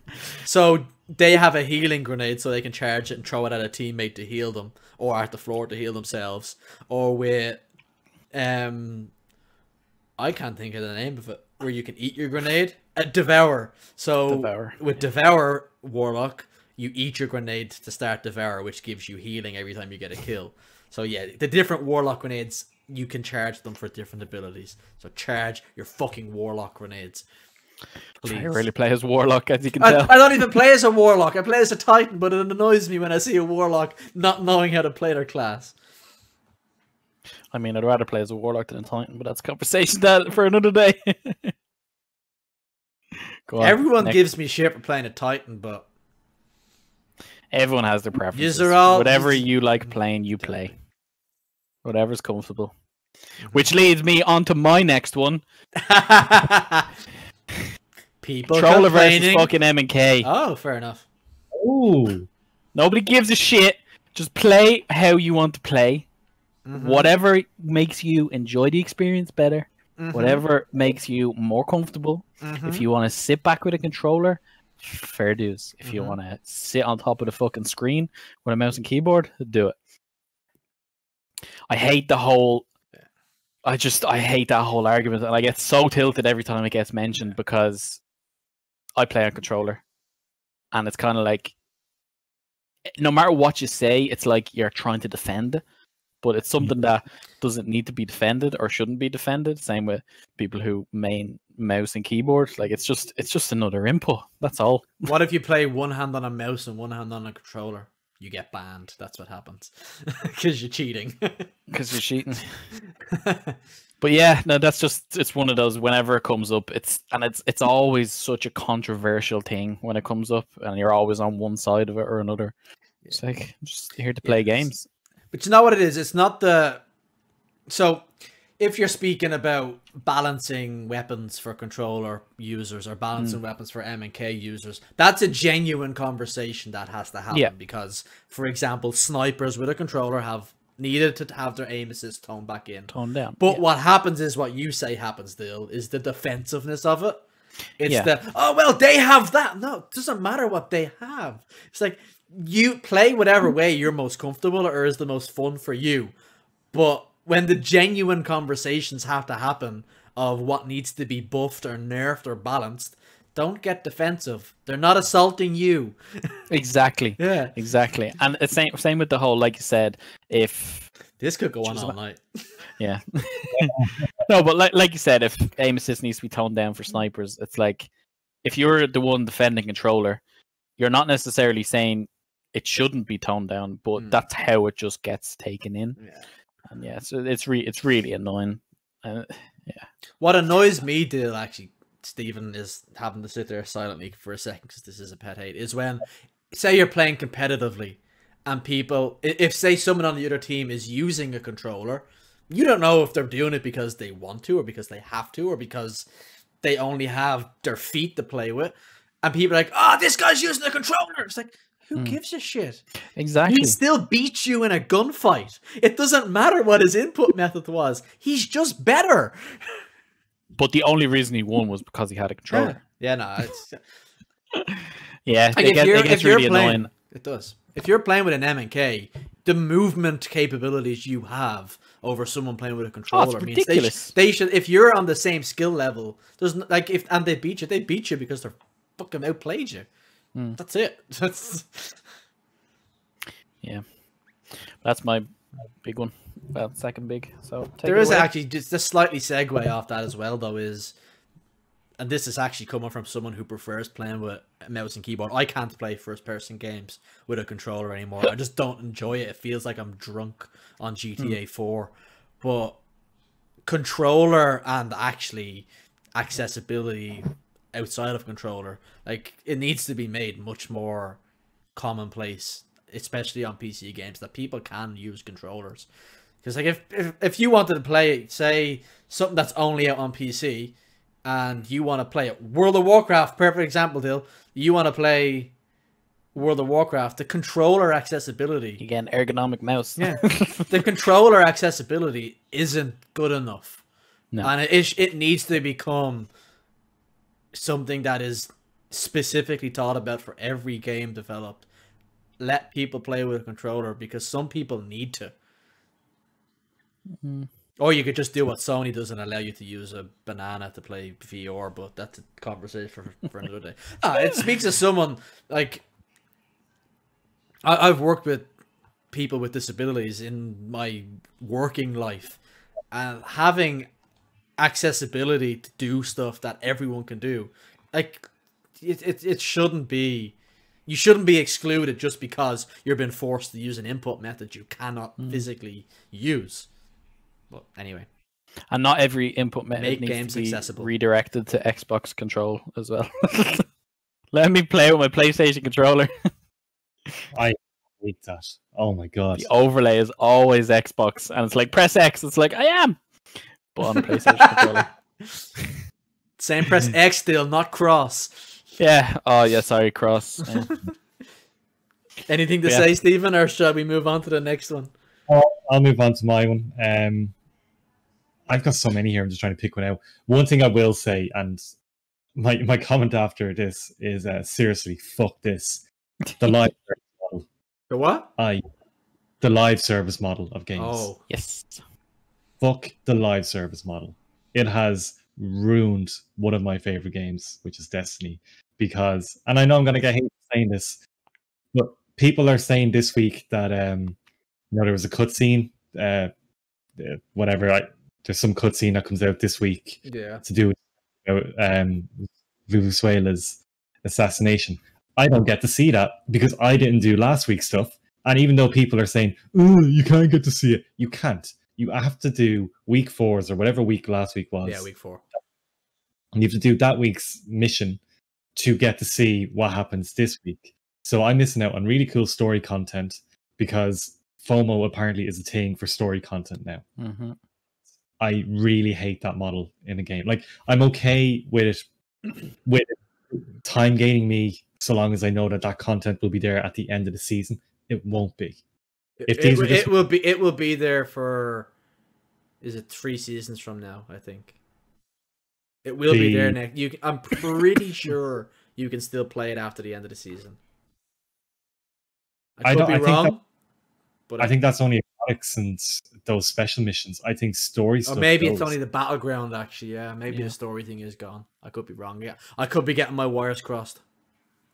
But like, so if it's a case that it was a story thing that I could just progress through as a quest, like that's fine because I don't have time, and if I'm two weeks behind, There should be catch up. Yeah. yeah, Hundred percent.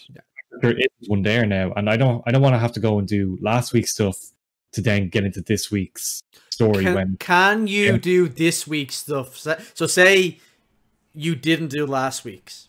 If you do last week's today, can you do this week's one today? Or do you have to wait till next week's A reset? weak hole. I don't know. So I need to see what one was last week, and So, if, so 'cause I, I if there's a catch up, I think it's okay. If you can catch up on the same day, so if you can start week one today and catch up as far as week five today, I'm kind of okay with it then.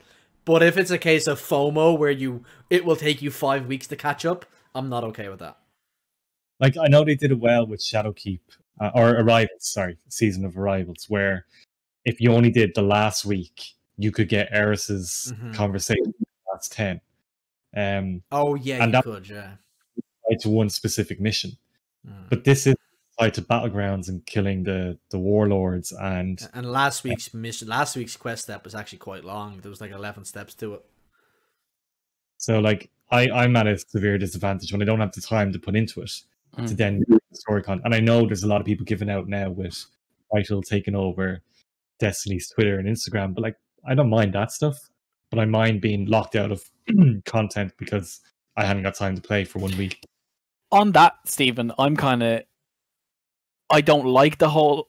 Not that I don't want to say it so strongly as don't like the whole Twitter takeover thing. It's just it's out of context for me because, like you, I haven't done the last two weeks or whatever story. I don't even know where to access the story. I, I think I asked you to today, Kev. Is it the battlegrounds? You that you go, just you do go to the every helm week? table, yeah. For Yeah. clarity, for clarity, what we're specifically talking about is the the mission you get from the helm table. So Yeah. it's whatever When Saladin talks to you, isn't it? when Saladin speaks to you, yeah. Yeah. So you get a, you go to the t- the table, the war table in the helm. You get the weekly mission, and you get some story content from that. And this week, when you logged in, there was a cutscene where full spoilers, by the way, a Scion tried to assassinate Zavala. He was uns the Didn't even know Scion was unsuccessful, and it appears that Caiatl sent the Scion to kill Zavala. Hmm. Lots of stuff happens in that Zavala saw um, the crow, uh, Uldren Sov, believes for now it was a hallucination. Yes, Stephen, that happened. Because, okay, so the Scion went to kill Zavala. Uldren Sov went to stop it. Zavala saw Uldren Sov without the mask on. Ah, okay. copped that the Scion was there and killed the Scion, and then Uldren Sov disappeared, and Zavala thinks it was a hallucination. And then Osiris gave Uldren, the crow, a slap on the bum for taking his mask off, but and has put him in charge of as basically keeping watch over Zavala in case there's further assassination attempts. It appears, obviously, because it's a cabal, that Caiatl has sent the Scion that killed Scion. Zavala, but the Twitter takeover makes it seem like actually Caiatl may not have sent the Scion after all, and we will probably find that out in the coming weeks. It's a really cool story if you're playing And it. that's and that's, That's the the annoying part yeah. because it's such a cool story arc. The problem But- I have with it is that they said pre Beyond Light launch that they were going to cut down on the FOMO. And if anything, they've actually made it worse.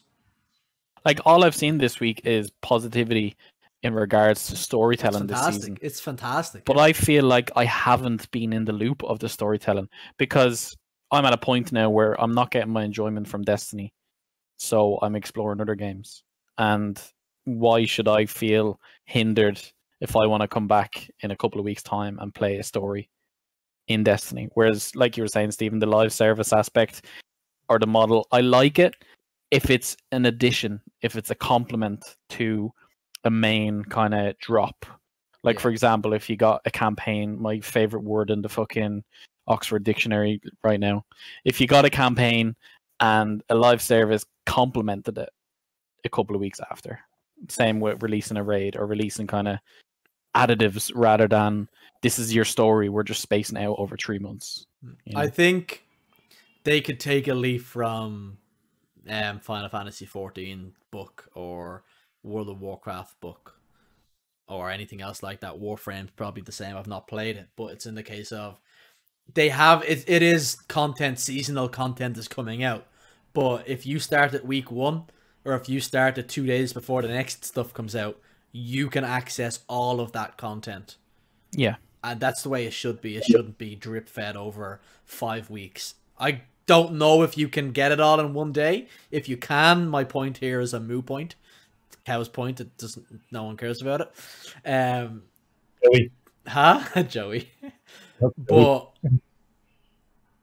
it should be the case of here's all your content. You can Mhm. play it when you want, and you Yeah. have until whatever two years time to play it because eventually and be upfront about it say look this content is going to go away in 18 months 24 months 36 months whatever the time period is you have until then to play it but i yeah i agree the fomo of it dropping it week by week like you guys have totally missed out on really Oh, cool completely. story and like even Yeah. from doing the Glykon mission the presage mission every week we've been getting lots of story to do with what's gone on on the ship what's gone on with Calus, what's gone on with Caiatl. so there's lots like the story's been fantastic this season and what's been great about it is that it's been delivered in game instead Yeah. of in here's your lore tab here's a book of sorrows which is up there in that you have to go outside the game or sit reading grimoire cards whereas we've actually gotten voice lines dialogue for Yeah. all of this story but it's yeah I, I agree with what you're saying the live service model is it, it puts a lot of people at a disadvantage Yeah. unfortunately especially for a story-driven game. yeah because it And is that's the becoming annoying- far more story driven Yeah, and in the season where it's diving more into that, I feel like I'm not in touch with that at all. You know, Mm. whereas it's the, it's the whole thing. It's like it's forcing you to have one game or one main kind of game, and I know it's logging in on a Tuesday at six o'clock. And right now, I feel like I'm such a hypocrite because I have all the time in the world to play it, but I just I have no drive for it, and I don't want to force myself. Um, to do to do something that I'm not enjoying. But yeah, no, just it's I completely agree, Stephen. That there's benefits to it, surely, but there's also massive hindrances, especially when it comes to main story. I think- that was the Steve, what's yours? Go on, finish your point. point and are you saying to move on no, but yeah, finish your point Yeah. there. You- Uh, My point was actually going to be still saying that there's benefits to the live service model, and don't want to say I don't think there is benefits, but I will say that Destiny is arguably the only successful game with that model. To do it, yeah. And I think Destiny is successful in spite of the live service model, not in support of the live service model. Yes. Yeah. Look at me being. I, I've ran out of. I don't know what I'm trying to say. But like, just for example, look how. Look how Me hyped up my opinions very the well. September releases or the big yearly releases are because it's just a big massive drop of Yeah. story. It doesn't necessarily need to be a new area or anything. Just give me dialogue and fucking quests. And it's just it's- yeah. That's the, that, that's my favorite point of the game. Whereas I'd happily log in once every six not once every six months, but on a six month period to play a massive chunk of story and then bring out your dungeons and your raids along that live service timeline or new fucking strikes and shit like that. But we said yeah, we were going to talk about Destiny for 69 days. 61 days, whatever it was. it's like that um that thing where you see the sign. It's like zero days since Destiny drama. it's now zero days since spoken about Destiny. Right. I'll move on from Destiny. And this is actually probably going to lead me into playing a, a suffering together game. Because when I was thinking of this, I thought of not necessarily a game I don't like, but a genre I don't like. And it comes from other games having them. I fucking hate quick time events. Delete them. I hate them. They're horrible. Either give me gameplay or give me a cutscene. Don't combine them together. For for just clarity, I don't mind in the game like God of War did it very well or Sekiro does it where you have fought this hard battle and you're giving me a really rewarding kill sequence. I've no problem with that to an extent. But one game like Spider-Man had quick time events during chases where a scaffolding's flying at you and you have to press a sequence of buttons to dodge it. Please stop. Please just give me a cutscene instead. Yeah. So games such as Until Dawn and what's that game?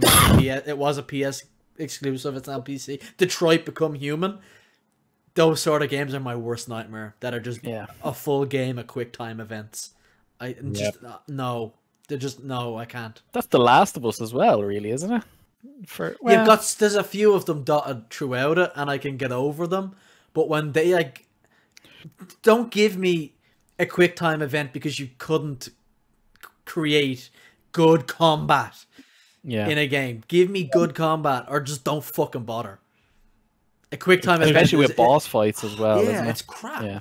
It's boring. It's I'm gonna cut in on that boss fight one, and you mentioned Sekiro, and I'm glad you did because that is bullshit. The first time that happens, if you're not on the ball and you just got through a hard fight and you didn't see the or one prompt, stagger. Yeah. get get wrecked. You're doing that fucking boss. Get wrecked. what happens is like you take down its health bar, and then if it's uh, you know if it's a the proper final bosses, it will give you a prompt for a shinobi kill, and if you don't do that, they'll deflect your attack, and then you'll have to go do that last bar of health again, and it's such bullshit. It's like rough. if you're expecting it, it, it caught me out the first time, and I was so pissed. So no, fuck quick time events in all games.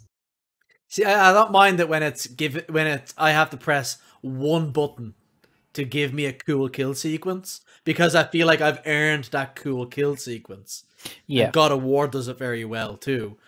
Um, I'm, there's plenty of other games do it, but the likes of R1, Square, X, rotate your analog stick. I was like, please, give me strength, please. because there's no like there's just no benefit to doing it but like like you said if they just threw that in as like a little kind of scene where you don't have to press anything at all it would be a cool little transition into the next phase or the next area that you're going to or whatever Yeah.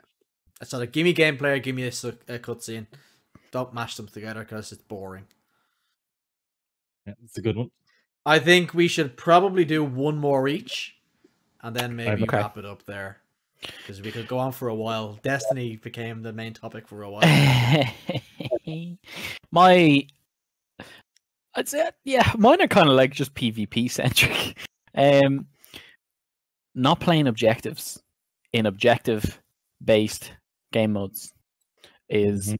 so annoying because if you if it feels uh, sorry if it feels like if you don't do it it's not going to get done like battlefront 2 is probably the the most recent one like that um galactic assault is purely based on objectives if you have to take down a vehicle or if you have to control zones or something like that it's so noticeable that Mhm. people just want to go in there, get kills, or play as the hero, spam the hero, die constantly over and over. If you just play as a team on the point or on what you have to do, the objective, just you, it's it's so much easier, so much quicker. It flows much more. A twenty minute game turns into a ten minute game, and the fluidity is so nice. Same with Destiny when you're playing Iron Banner or Control, and nobody's capping zones, or people are just I think Destiny's playing- slightly different because Destiny's um whatever you want to call it. The game what what do you call it? Iron Banner Control. No, the the objectives. Objective? Brain fart. The objectives in Destiny are they don't really matter for the most part because it's just If glor- you- it's just glorified team deathmatch at the end of the day. The only one Yeah. that was actually objective was zone control, and that's no longer a thing. if it was a bigger scale, yeah, it would have more of an impact. But just for example, like if if you're playing zones, hmm and if if two people on the opposite team are just going for kills and they are absolutely rinsing your whole team, you can still win based on you simply playing the objective. And I wish they kind of harpen down on that a little bit more, like they done with Iron Banner and the the zone gives you the lockout and stuff like that. But yeah, uh, mainly in bigger kind of PvP games or bigger kind of scale, it's um yeah, it's really annoying because it just goes on forever and ever. I think Destiny could. and I know we're going back to fucking Destiny again, but they could increase that. view. so if you're within a certain distance of the zone, you get extra points. But if you're nowhere near a zone, just getting kills, you shouldn't get Yeah, the benefits. like- because you're just yeah. slaying then. Whereas if you're actually controlling the zone and getting kills near a zone to keep control of the, the game's called Control. Give it's you not an called incentive. capture. Yeah. It's not capture the zones. It's control the zones. So Yeah. Yeah, no, uh, it's it's it's annoying. But like that, if if you're not the one that's sitting on B or around B, you're just gonna get steamrolled. It's know? something way more noticeable if you're playing solo as well. Like if you're Yes. in a team of three or four people, you just kind of just naturally do it. yeah. But if you're in a just playing by yourself with full mercenary teams, yeah, it can be headless Tough. chickens. Yep. Well, that's my last one. Nothing really annoys me Basically, in PvE. basically Dill hates from game. PvP. Yeah, every but see that's the thing. I feel like you're everyone's a little bit more heightened in PvP because there's something on the line. I know PvE with raids and stuff like that there is, but I, yeah, I just think PvP everyone's a little bit tetchy. It's competition. Brings out the worst. Yeah. Mm. Yeah. I think a big thing though for it, if people are getting tetchy, that if something goes against you, you get killed because of the lag, or because of something stupid happened, or he used a certain ability, or she used a certain ability. Have Or your moment, controller. have your moment, and move on. Yes, because But- that's another pet peeve that I didn't is. mention. It's nobody wants to listen to you give out for 20 minutes on something that happened three hours ago. ago. Yeah. Exactly. Have your moment and move the fuck on. It's not enjoyable to be in the presence of that when you're trying to play a PvP game as well. but anyway, that's I, I've used up my my. Here's allowance. Stephen going to create another twenty minute conversation. I've, So I've in got Destiny in 1997. so many I want to talk about, and I can't. I don't. Right, here's what we'll do, Stephen. I've got one. I've really only got one more here, so I'll do my one, and then we can. Um, I'll just name. Quick. We can quick fire your ones. Mine won't take long. Something that's really bugging me lately, and it it, it was kind of something I noticed when the Outriders demo came out, because I don't know what this is. it's criticizing one game for doing something and then praising another game when it does the exact same fucking thing. So for example, people complain when doing Destiny, I didn't get the thing I wanted. I didn't get this gun. The drop rates are too low. And then when they were playing the Outriders demo, it was this loot feels rare. This is really great. I love this feeling of the loot being rare. It's like it's the same commentary from about in similar games from different. It's like you're criticizing one game for something and then turning and praising another game Yeah. for the exact same thing because like you've got an agenda to put it that way. Now, I've actually got another one there as well. But anyway, it's like I'm, I'm, trying to think of other ones, and it actually was kind of happened when Cyberpunk came out a lot. That people were criticizing Cyberpunk for stuff that I'd never seen any game criticized for ever. Like there was obviously Those nipples are too much to the left. What the yeah, fuck? penis penis two isn't big enough. But like there was, I, I can't think of any off the top of my head now. But I saw complaints that I'd never seen any game be criticized for because it was an agenda to criticize, and it's the same happens in any game. Like right now, it's the agenda is oh Outriders is great because I'm an ambassador for it. It's a good game. Hmm. I didn't get that for free, I swear. But it's because it's new and shiny, Yeah. and no one's ever dropped it before. That's like yeah. there was trouble. Like obviously there was problems with Cyberpunk. I'm not pretending there was no problems with that game, especially on older tech. It was yeah, but like just seeing things critic. ah, it's just annoying. I, I have, think a, when I have a big spiel written out for Outriders that I'm not going to go through, and and it's really about how the live service genre has fucked over people so many times. They are willing to praise anything that isn't complete steamy trash yeah. that they've been they've been where is it it's that we've bec- we've been will we have become willing to praise something for not being terrible because the live service looter genre has had so many complete failures over the last half a decade it's almost That like is like- my outlook on that football Every club game. right there. that's that's my outlook on every game i'm willing to give it a chance but yeah, if it's anyway. not shit, it's just rose-colored shit or gold shit. Yeah. It's still shit at the end of the day. yeah just annoying when you see I get you. See, I think and- Square Enix got their um, they learned their lesson from Adventure. Said, "Hey, we probably should pay content creators yeah to tell us good rather than make a good game." Yeah. That's something else that that bugs the hell out of me when people are like, "Oh, this person said this game is great." They're an ambassador for the game. Of course, they said it was great. It, they did literally contract it to say it's great. Yeah. and those kind of deals I feel tarnish some games as well because then like you said, you're not going to take it at face value because Exactly. they are getting a pocket from it. And that's always going to be brought up mm -hmm. in a discussion about X person saying it about X game rather than complimenting it, you know, or them be, be complimenting on top of it being a good delivery of whatever it is. That kind of ties in a little bit nicely into one of my biggest pet peeves. Live service games, part two. You Talk about your pet peeve. Hmm? Are you done talking about your pet peeve? Yeah, yeah, pretty much. I've got a big spiel written up there, but it doesn't matter. It's basically just saying that um stop praising something for being mediocre. Mediocre does not equals good. Yeah. And that crosses. Oh, I just thought of another pet hate. I just thought of another pet hate. Go on, Stephen. I'll let you talk. No, what? Go on. That everyone thinks they're a fucking critic in 2021. Moving on. Hey, look at what my next topic is. My big, one of my biggest pet hates is the internet. This is a broad a topic. Do you remember when we were kids and you'd buy a game, play it, and enjoy it? Well, now you have streamers, content creators, subreddits, critics, uh, social media telling you why your opinion is shit, why you should hate that game, why you're wrong, and half of the lobby telling you what your mother, mother was up to last night. Like, I fucking hate the internet. All Like- you had was the back leaflet of the of the game and a magazine article that you probably would have seen or not seen.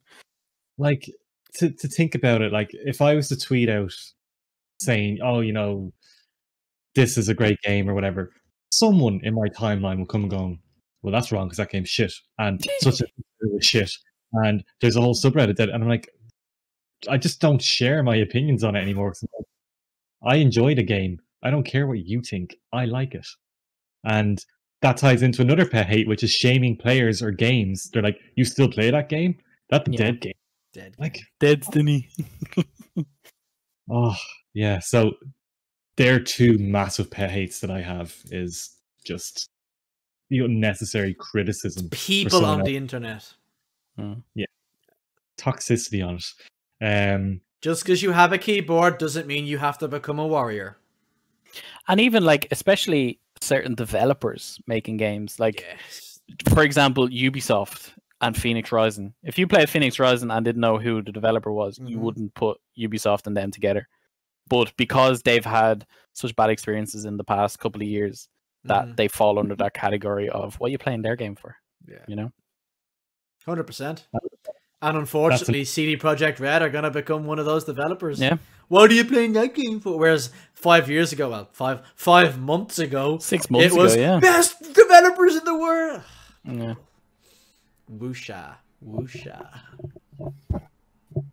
Um, Yeah, like it's it's it, it is it is really annoying because then it's the same with film critics and TVs and stuff like that. It steers you in a direction that you don't not necessarily want to go in, and you're kind of second guessing your choices then, rather than just enjoying something for what it is. One know? thing I find that's coming off the topic of the internet is that there's no middle ground. There's no, it's this or it's that. Yeah, I'm enjoying this. It's either it's amazing or it's shit. And there's nowhere. Yeah. There's nowhere in the middle. And it's the same fucking. You're talking about football a second ago, Dill. It's never. Yeah, he's a good player, but he doesn't play for my team, so I don't like him. Bruno Fernandes, fabulous footballer, but he doesn't play for Liverpool, so he's a rat bastard who I fucking can't stand but I can still appreciate he's an excellent footballer. Whereas the internet tells you, oh no, he's only a stat You're merchant. He's he, he's propped up by goals and assists. Fuck off. And sa- same with like like exactly same like I said, not not everything has to be groundbreaking. Hmm. Like you can play something and enjoy it. It doesn't have to be a genre defining or a fucking. What are games specific- supposed to be? Like, what's the point of a game? To enjoyable? Be enjoyable. to Yeah. enjoy it. Just enjoy it and shut your goddamn mouth. and you don't have to be the best person to ever play that game either No. no. to enjoy it. Fuck you, yeah. I do. Yeah, it's really Yeah, a lot of other ones that are like more game specific. Weapon durability. Fuck weapon durability. Yeah, it's kind of dumb. Finite healing items. Bloodborne. I'm looking at you. Fuck that system. 30 FPS now. Fuck 30 Kill frames it. per second. I don't know why. Uh, why is 30 FPS like Outriders? Going back to it again, it's coming out in a few weeks. Its cutscenes at 30 FPS on PC. Why? Why? Like, come on. We that's Call where of- they should Call of Duty moved- because yeah, Call of Duty moved on to 60 FPS 10, 12 years ago. Why are we still on 30 FPS for anything? It's not more cinematic. It doesn't look better. It looks trash. Stop it. WoW could The human, look the human eye can't see below 24 frames a second. yeah. Um, this is this is definitely something I have, and I don't know if you two have this, but games that don't give you more than one save file or force you to constantly overwrite your same file. I hate that. I That's hate still a not. thing. Yeah, in some games, like like in the Dark Souls series, like you can true. only. Have, Actually, yeah. um, but yeah, there's a lot of Yeah. games that force, like one save file, and I just get such anxiety when I'm saving. Like, well, what if I miss something? What if I need to go back and do this? See, as someone, the way I play, I wouldn't. That wouldn't ever kind of cross my kind of anything. Like I just, uh, I have my one save, and I'm like, I know it's auto saving, but I'm still gonna make one save. I just, I don't go back on things, but that's just how I play. save, but it's the idea of when I know I'm coming up to a juncture and something, I'm like, uh, I might need to go back and grind this a bit. Yeah. Something. You're And just saying that because you had to play through Dark Souls. Uh, sorry, Demon Souls like three times for your platinum. Anyway, Oh, keep going, Stephen. Any more? uh, mapping multiple inputs to one button. Hold X to jump, but also press X to pick up item. I have a counterpoint to that right now. Go on. Don't do it by default, but allow me to do it in certain situations, such as G in Destiny for me is using my finisher, but it was also Stasis Breakout. They have now remapped Stasis Breakout to V. I don't want Stasis Breakout on V because I've Yeah. already developed the muscle memory to have it on G. It's and I've also I also have my quest tabs on C. So anytime I try to do Stasis Breakout, I hit my fucking quest tab. Yeah. No, this is this is specific to Final Fantasy 15, where Oh yeah, I Uh, I didn't even look at that for PC M and K because Yeah. I look I took one look and went nope, plug in a controller. but even on controller, it has It's, X it's bad. jump. pick up an item, you have to hold X, Yeah, it's and it just um in comparison in comparison to Final Fantasy VII remake, which it, the buttons were perfect for that. Yeah.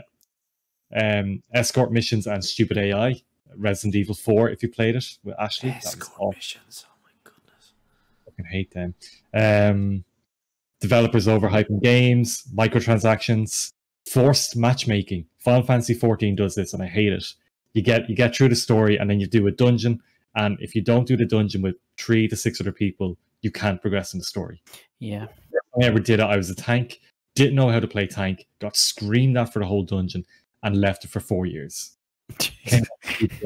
and didn't. But like, I hate that just coming out of nowhere. And another one that I have that uh, is very specific to me is third-person shooters. I hate them. Yeah, I'm not a fan of third person shooters either. What's the point of playing a shooter game if the angle you're shooting from is from Luke four stories away? Like, I just want to take gun. Speaking of Luke, Battlefront 2 is a good third person shooter.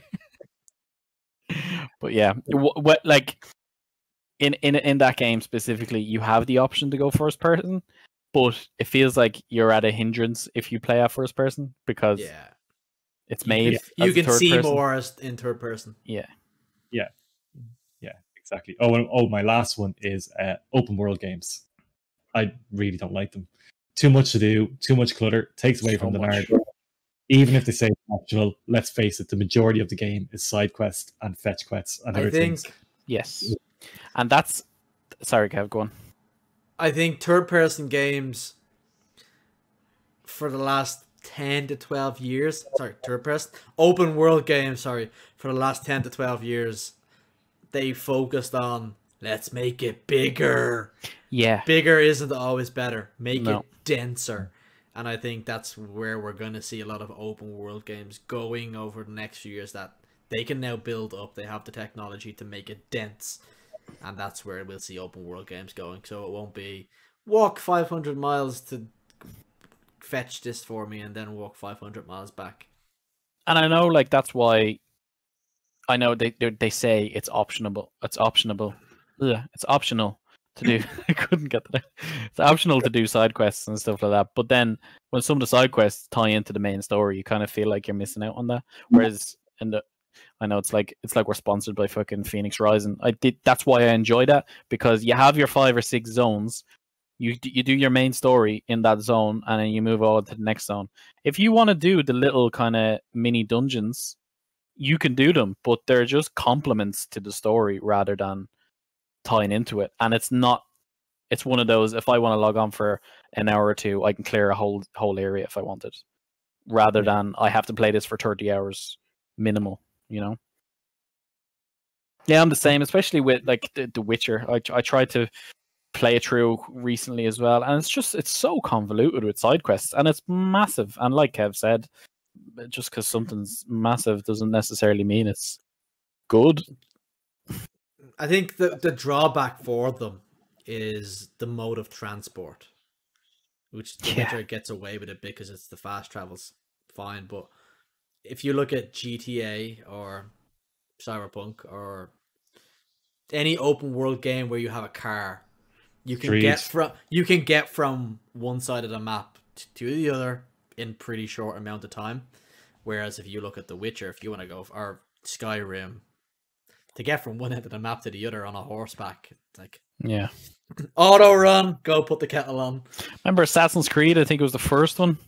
Like it, it was literally twenty full minutes to get from one area to the next. I think it might have been the second one. I think the, the first one? the first one was um it had like kind of zones where you'd leave I don't know, can't remember where it was, but you'd leave Bethlehem and then it'd fast travel you to somewhere think else you're in the next Israel. area. But yeah, Yeah. that's just that. It's what, Stephen? I think in number two you went to Florence and all the different like Italian can't- It might not have been two, then it might have been further along. I know what you're saying though, Dill. Yeah, it Yeah. was.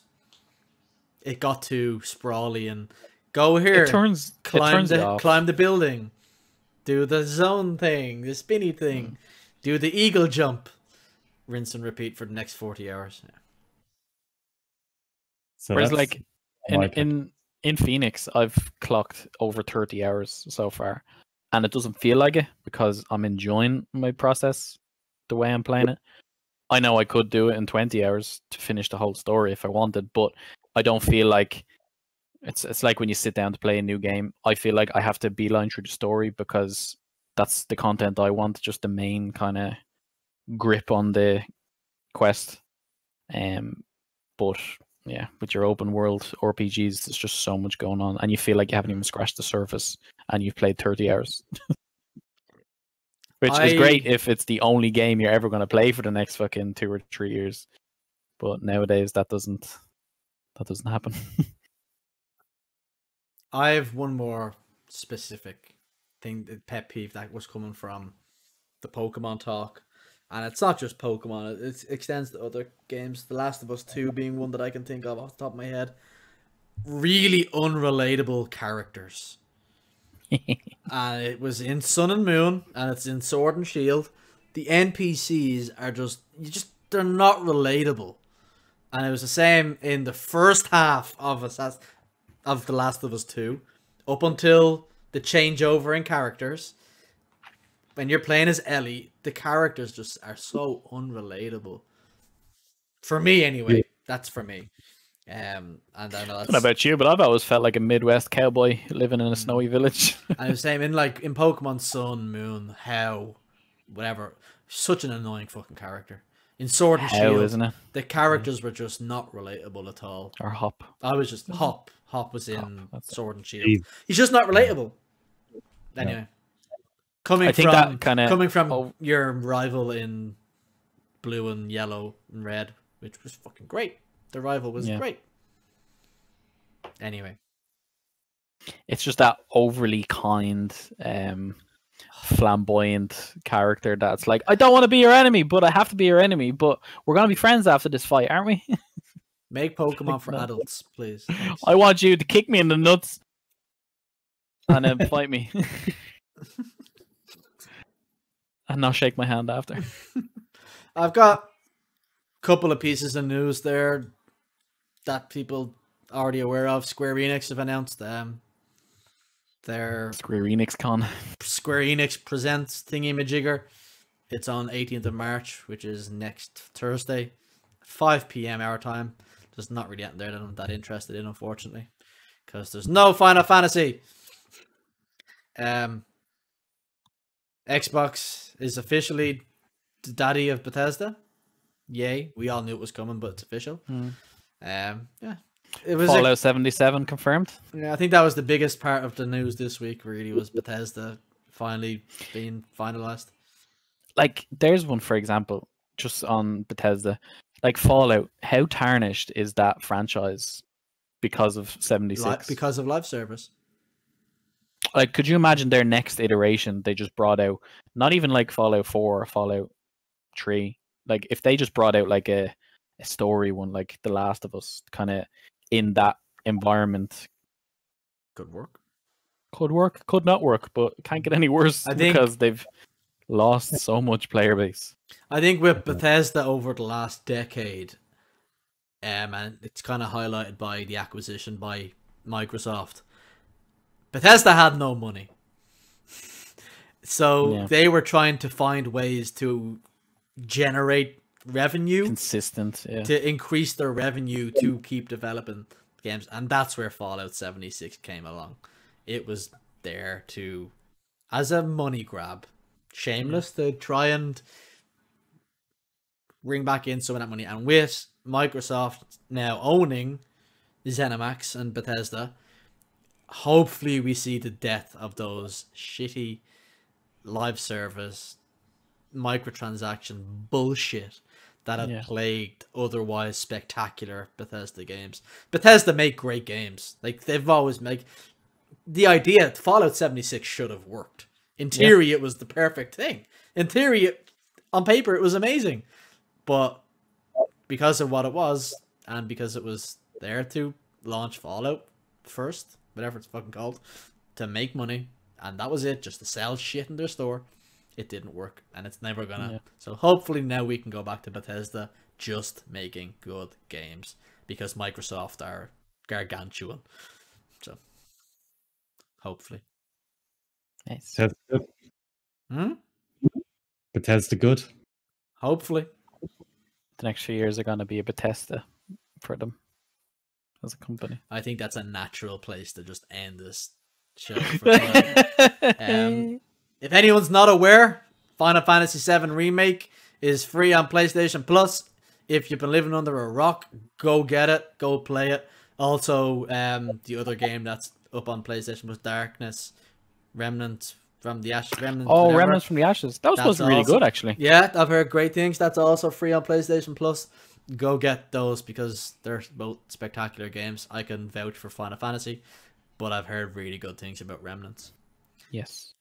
I'm actually going to add that to my PS Plus now. It's worth it. Just add it. Yeah. Might as well.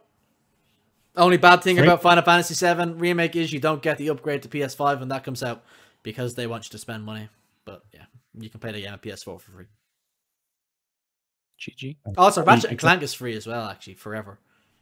For and Yeah. if you add it to your library, you don't have to have PlayStation Plus. You can just add it to your library. Play free game. anytime. Free game. Nice. Yeah.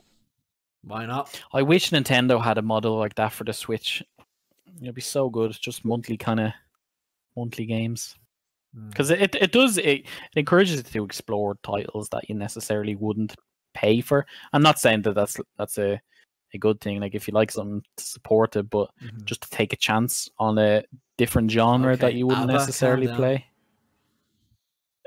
But yeah, just to no, just to dip your foot in different different genres or subgenres to to games, you know. And I think S- Switch alone has so many different varieties. Like it goes from mobile game level to massive fucking MMOs. Like there's so much in between that just doesn't get looked at. Still need a Switch Pro. Still can't Yep. wait for that. 4K handheld. Can't wait for it to be official. please. I know. I just hope apparently, it's apparently not they're only going to be making a million of, or what's it, a million of them worldwide for launch. So, um, good luck. getting Oh, them here we go again. Oh, it's going to be way worse. PS5 It's way GPUs worse. get in line. Fucking hell. Yeah, I think we should probably wrap that up there. Yeah. Yep. It's a good conversation. The Pokemon picking was fun. Steven really went in. Steven's been sitting at home all week with these pet peeves. Stephen got I- a lot off his chest today. He did. I only had three of them up until about four o'clock today, and it was the weapon durability one that ticked me off. It's like, oh yeah, that one, and then That turned me off Breath of the Wild, man, completely. Yeah. Spiraled from It's there. groundbreaking though. It never happened in a game before. Groundbreaking. Hmm. Yeah. And Stephen wasted his legendary in the fucking second pick. Like, no foreplay with you, just straight to the jugular. Stephen was trying to keep in in context to the, the types that were going on. Went, horny on, horny on first. Let's go. yeah, Proud- boy. So proud. So proud of you. Right. One of you wrap it up there. Stephen, take it away. Thank you very much for tuning in. If you're still here, we appreciate your support, and we will see you next week when we decide what topics we're doing. And until then, stay safe, take care, and I thought you were going to a- say stasis for a second there. stay safe. See you next week. Bye. You know who you are. Lord of the Rings is amazing. Bye.